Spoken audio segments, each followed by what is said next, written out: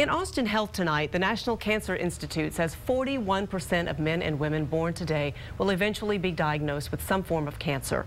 A UT professor is fighting back, developing a way to kill cancer cells without damaging healthy tissue. KXAN's Casey James visited the lab at UT. My goal is really bring it to the clinic, to the people to help. Associated Professor Adela Ben-Yakar is a woman on a mission.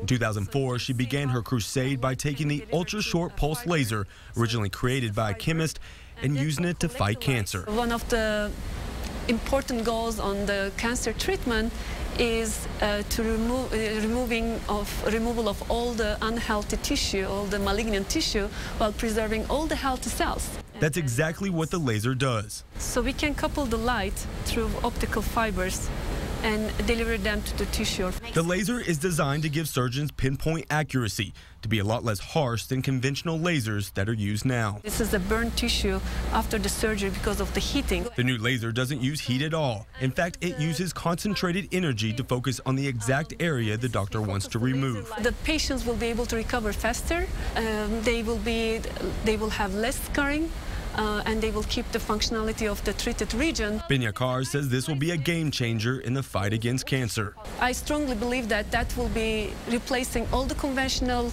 uh, surgical techniques as well as current conventional laser surgery techniques. That is still at least three to five years away.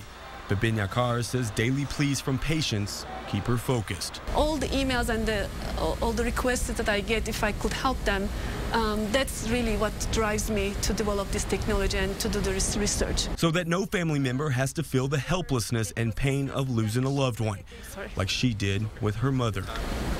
I will help her, but I couldn't. A daughter dedicated to developing a powerful new weapon against cancers that claim so many lives each year. In Austin, Casey James, KXAN News. That laser can also be used as an image device, allowing doctors to find cancer cells easier.